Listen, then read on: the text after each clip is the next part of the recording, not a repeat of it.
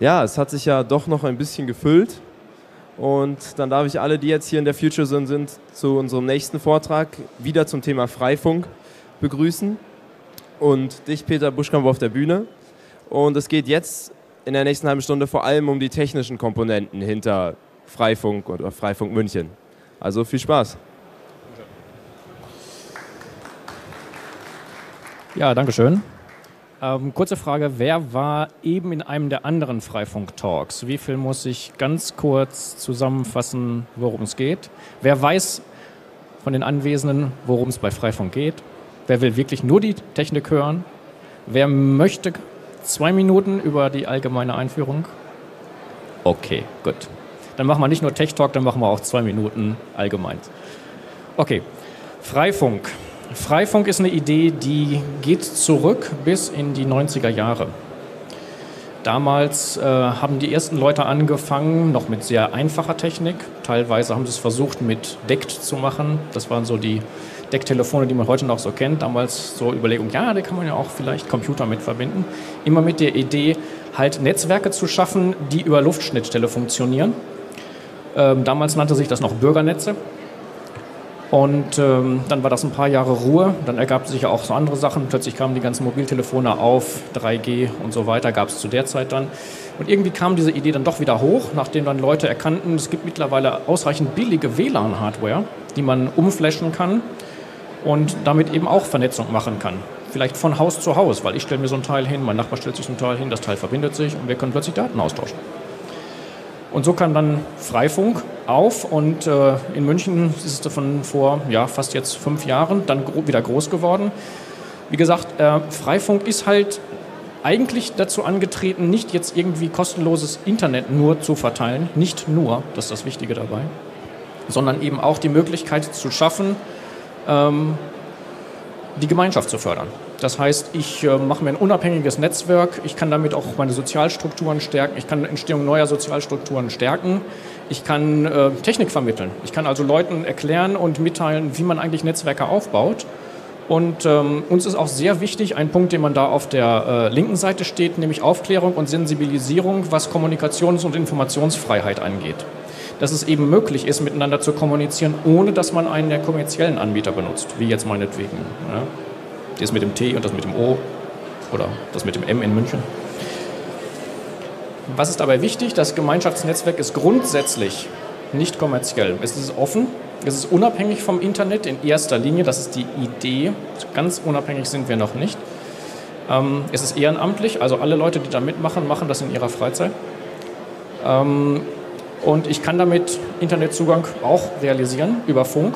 Ich kann damit auch mein Internet zu Hause scheren, gefahrlos, ohne dass diese Störerhaftung, ja, die ist jetzt abgeschafft angeblich, aber so richtig. Und wenn man sich die Details anguckt, will man sich in diese Grauzone immer noch nicht begeben.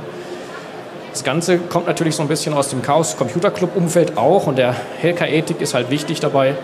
Ähm, und ganz wichtig, ähm, der letzte Punkt da unten, öffentliche Daten nutzen und private Daten schützen. Ähm, ganz wichtiger Punkt. Okay, also, ich skippe jetzt über ein paar Sachen mal drüber, weil wir wollten ja eigentlich einen Tech-Talk machen. Ähm, wenn man jetzt Freifunk machen möchte, dann habe ich zu Hause ja meistens so eine Box stehen. Ja, mittlerweile sind die dann rot oder ja, vielleicht auch schwarz, kommt drauf an, bei welchem Anbieter ich bin. Und dieser Heimnetzrouter hat ja für mich im Prinzip, macht der Internet. Ähm, und ähm, da ist mein WLAN dran. Da möchte ich jetzt nicht vielleicht zum Beispiel jeden dran lassen, was kann ich denn zum Beispiel machen mit Hilfe von Freifunk, wenn ich jetzt diesen einen Punkt da am Anfang nehmen möchte, wenn ich mich jetzt, wenn ich meinen WLAN teilen möchte? Gerade so, äh, wer Kinder hat, wird das kennen. Die bringen dann auch mal die Kumpels oder die Freundin nach Hause und dann können wir hier ins WLAN. Äh, ah ja, was wollten ihr da machen? Okay, gut. Äh, will ich dann mein Passwort da rausgeben? Vielleicht nicht. Ähm, dann mehr vielleicht über eine Möglichkeit, das besser zu scheren ähm, und über eine Verbindung zu scheren, die dann nicht mit meinem Namen verknüpft ist. Ähm, und dazu gibt es dann halt so einen Freifunkrouter. Dieser Freifunkrouter ist ein eigenständiges anderes Gerät. Also ich flashe das, ich, ich modifiziere nicht das Gerät, was ich schon zu Hause habe, sondern ich packe ein zusätzliches Gerät daneben. Ähm, als dieser Vortrag entstand, äh, gab es die noch ab 20 Euro. Mittlerweile ist es so, ähm, dass wir halt auch gewachsen sind, gerade in München äh, Freifunk und es sich gestalt, äh, gezeigt hat, dass diese Hardware so ein bisschen schwachbrüstig ist. Also mittlerweile reden wir eher so von 40 Euro mit ein bisschen besserer Hardware, aber das ist so die Größenordnung, von der wir reden. Ähm, dann hole ich mir die Firmware von Freifunk München darunter, flash die da drauf und dann verbinde ich die mit meinem ähm, Heimrouter. Einfach so, als würde ich einen normalen, das könnte ja auch mein PC sein, den hänge ich also einfach hier dran. So, was passiert dann? Äh, dann muss ich den noch konfigurieren, da gibt es eine Anleitung dann dafür und ja, Freifunk. Kommt dann da raus. Ähm, dieses Freifunk ist jetzt das Nette dabei, das hat nichts mit meinem Netzwerk zu tun. Also Freifunk und Heimnetzwerk sind getrennt. Das heißt aber auch, dass die Nutzer, die jetzt in meinem Heim-WLAN hängen, also ich zum Beispiel, ich sehe nicht die Nutzer, die im Freifunknetzwerk gerade damit rumhängen.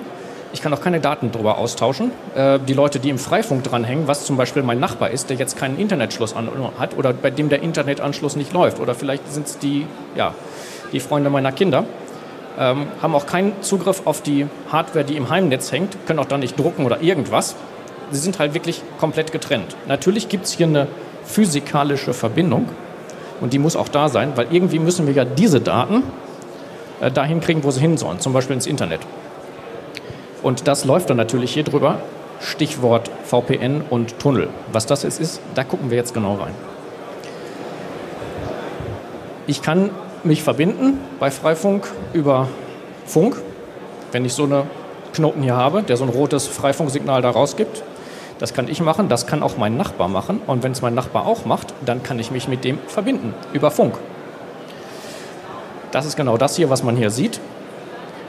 Da gibt es so einen anderen Router, da oben rechts. Das ist vielleicht der von meinem Nachbarn. Und es gibt zwei SSIDs, die die Teile ausstrahlen, nämlich einmal das Hörnchen.freifunk.net. Das gibt es hier übrigens auch auf der Messe. Wir haben es hier aufgebaut. Wer es nutzen will, kann es hier nutzen. Und ein sogenanntes Mesh-Netzwerk. Und über dieses Mesh-Netzwerk, da können die auch untereinander mit kommunizieren. Und schon habe ich eine Möglichkeit, ich habe jetzt hier plötzlich Internet-Sharing drin für meine Gäste und sonst was. Und ich kann Daten mit meinem Nachbarn austauschen, ohne dass ich irgendwie sowas was wie Dropbox oder sonst was nutzen will. Sieht also so aus. Wenn jetzt ein nächster dazu kommt, anderer Nachbar, oh ist ja geil, will ich auch, dann sitzt der da.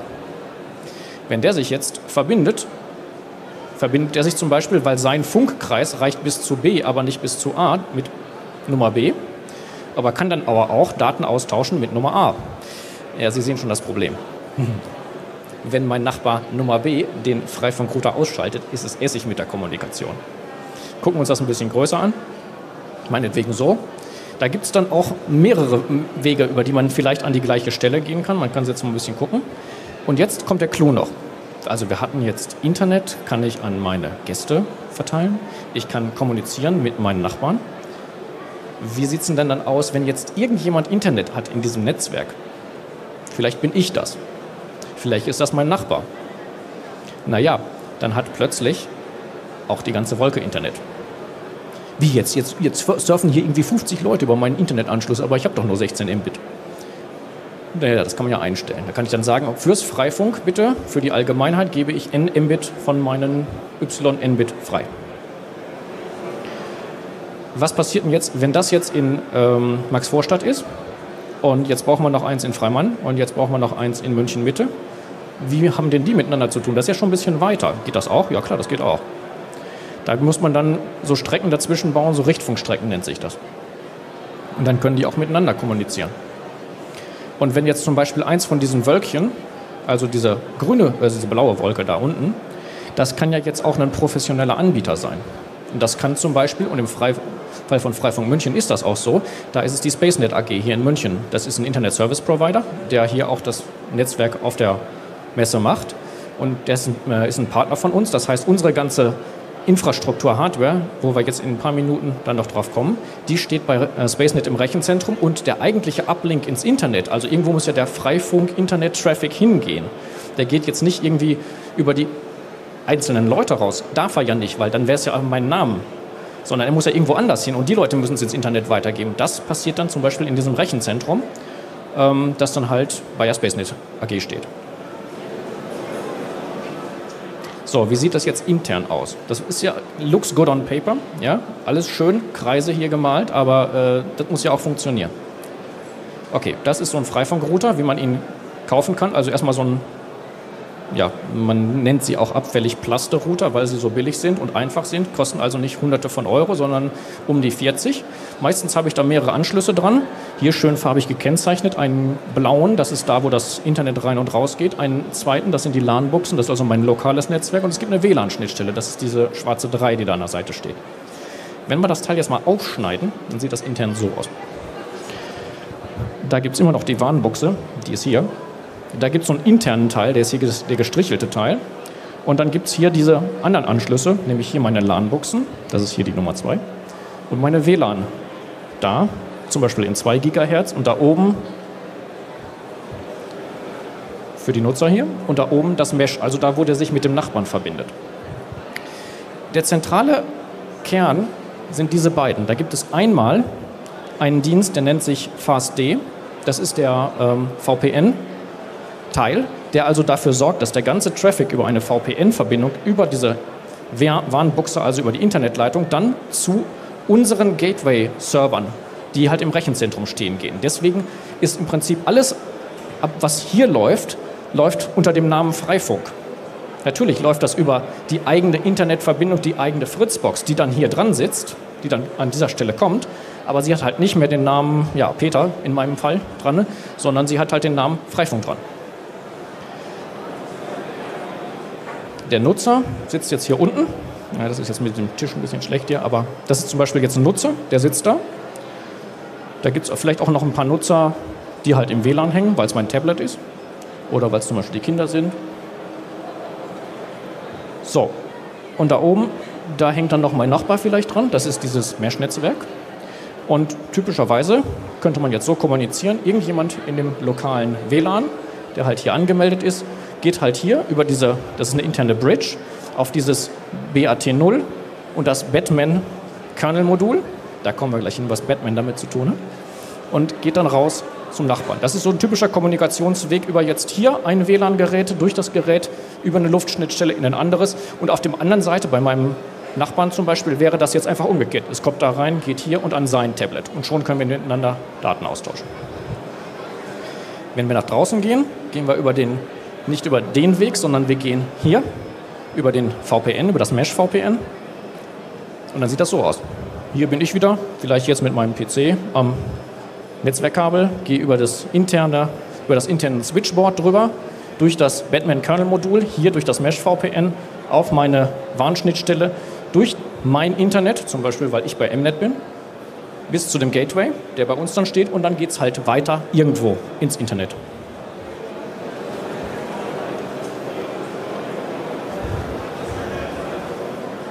Da sieht man das. Das ist jetzt der Weg zum Beispiel, ähm, den ich jetzt ähm, wählen kann, wenn ich, wenn irgendjemand anders, das wäre jetzt mein Nachbar, der geht jetzt gerade über meinen Router, aber nicht in meinem Namen, über das Gateway dann irgendwie da ins Internet. Das Ganze geht natürlich auch, ich kann von hier jetzt und dann gehe ich halt über hier, da drüber und ins Internet. Geht auch. So, was hat das jetzt mit Batman zu tun? Das ist Batman. Batman ist die zentrale Komponente beim Freifunk und es ist der Better Approach to Mobile Ad Hoc Networking. Hä?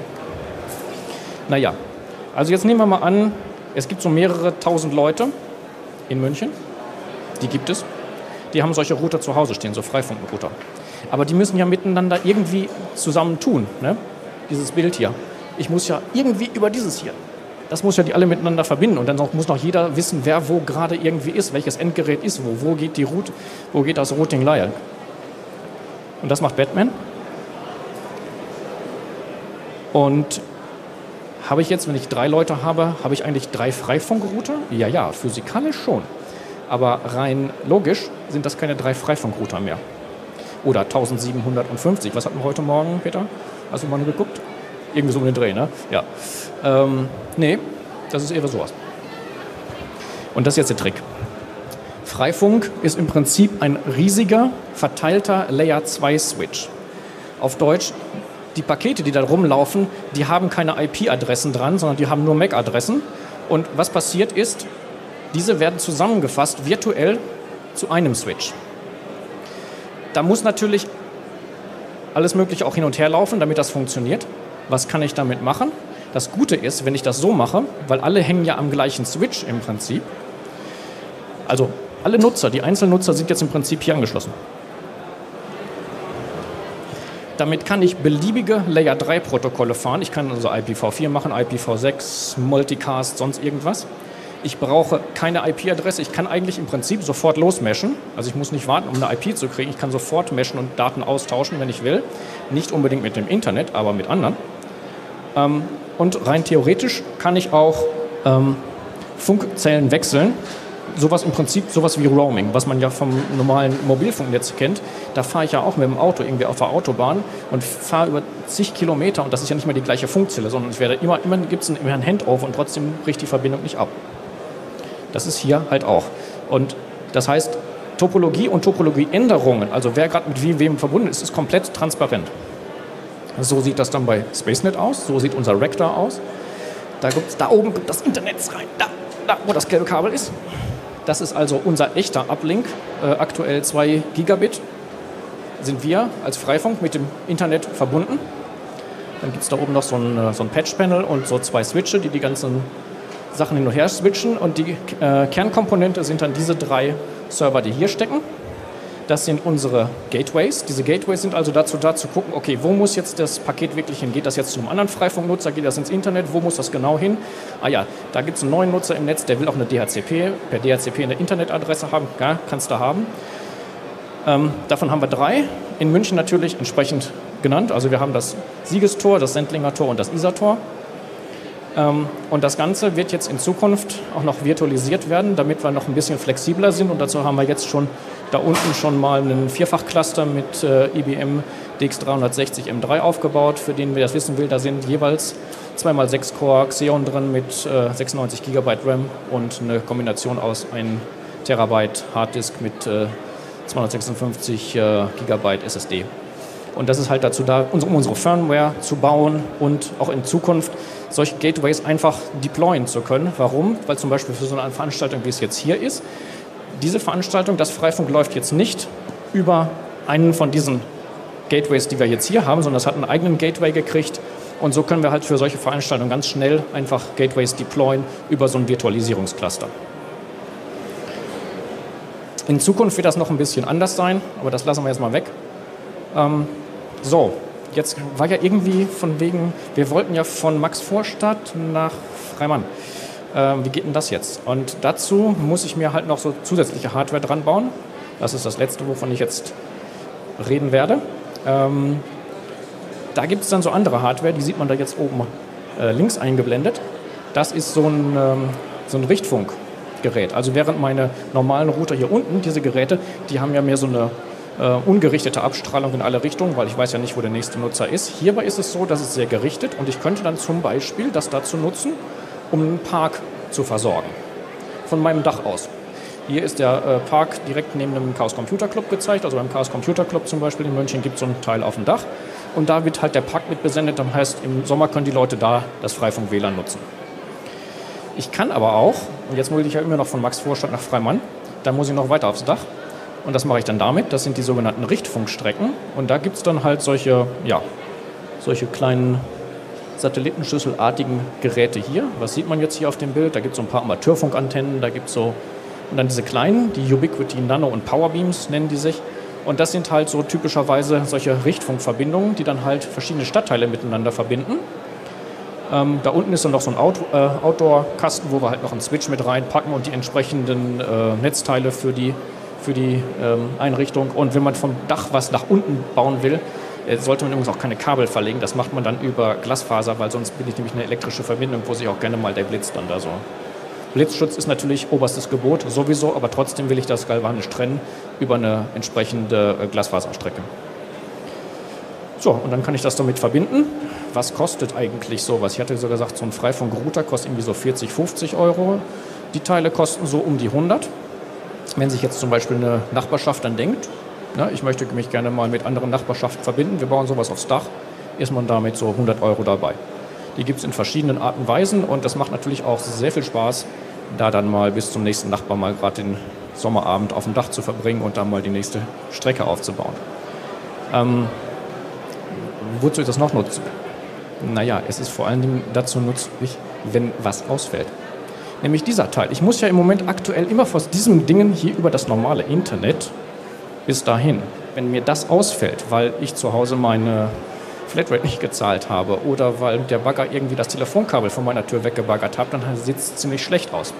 Also, wenn das passiert, dann ist nichts mehr mit Freifunk, weil vielleicht habe ich auch keinen Nachbarn mehr. Aber vielleicht habe ich ja irgendwie auf dem Dach nebenan was und da kommt dann halt dieser Funk-Backbone mit rein. Der verbindet halt im Prinzip dann einzelne Stadtteile über solche Strecken und damit kann man das dann auch machen. Das ist jetzt noch so ein bisschen Zukunftsmusik bei Freifunk München. Ähm, das wird jetzt aber in diesem Jahr äh, größer aufgebaut werden, weil wir jetzt Zusagen gekriegt haben von mehreren ähm, Leuten, von, auch von der Stadt München. Wir hatten Verhandlungen mit der Stadt München, die haben uns hohe, hohe Stadtstandorte zur Verfügung gestellt. Und da werden wir jetzt diesen Sommer mal ein bisschen aktiv werden und das mal ein bisschen da verbauen. Das sieht dann hinterher so aus. Zum Beispiel, da habe ich dann so Core-Standorte und da hinten gehe ich zum Datencenter, wo wir dann hin müssen. Und da kann ich dann halt stadtweit mit vernetzen. Und an jedem von diesen einzelnen Standorten kann ich dann wieder untervernetzen in kleinere Nachbarschaftsbereiche und so weiter. Äh, mal ganz davon abgesehen, dass es auch nett aussieht. Und dann kann man da halt stadtweit hinterher vielleicht Freifunk mit verteilen. Ich würde an dieser Stelle einfach mal stoppen, ähm, weil es gibt bestimmt noch ein paar Fragen und dann machen wir lieber noch eine kleine Fragerunde, bevor ich hier jetzt noch einfach die weiteren Slides einfach runterrattere. Dankeschön. Vielen Dank, Peter.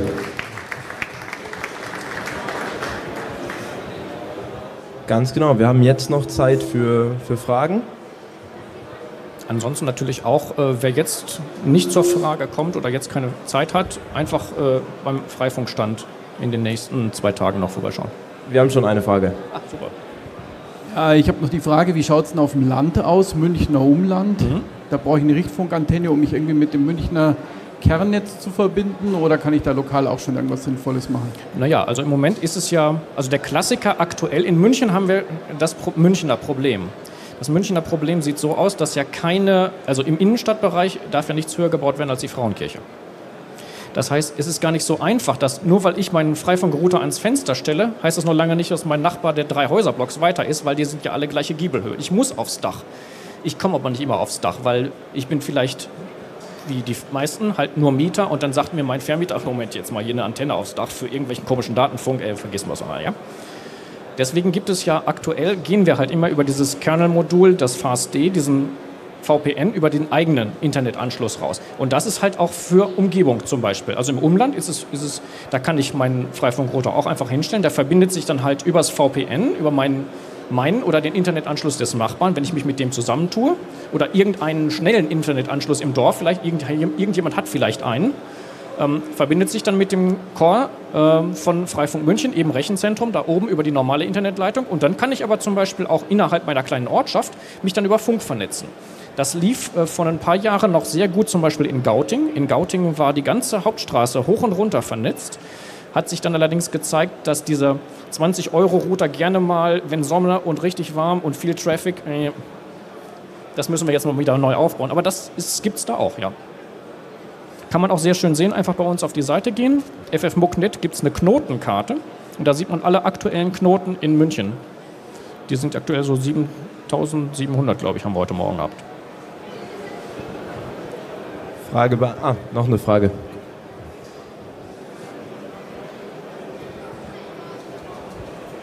Wenn ich das auf der Übersicht richtig gesehen habe, kommt das VPN-Modul direkt vor meinem eigenen Router oder was?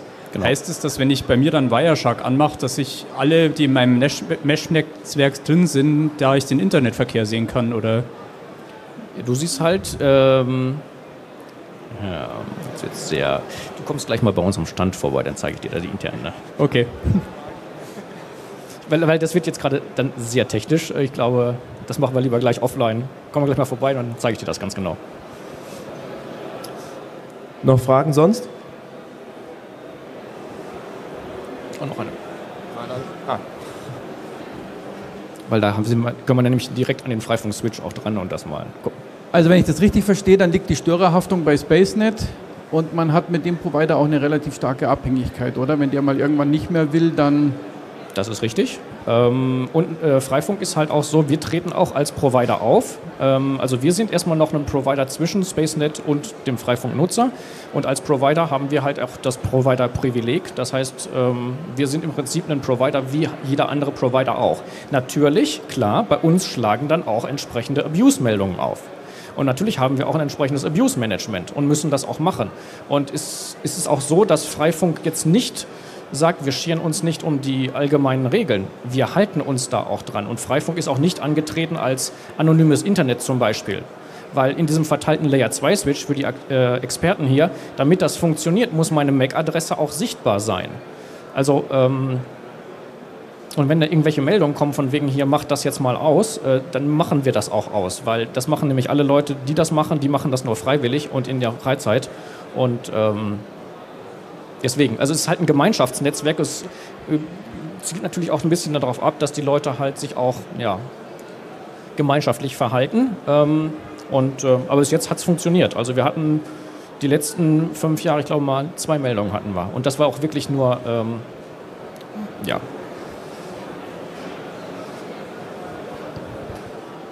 Gut. Sonst noch was? Sonst sage ich vielen Dank. Danke auch. Und nochmal einen Applaus. Dankeschön.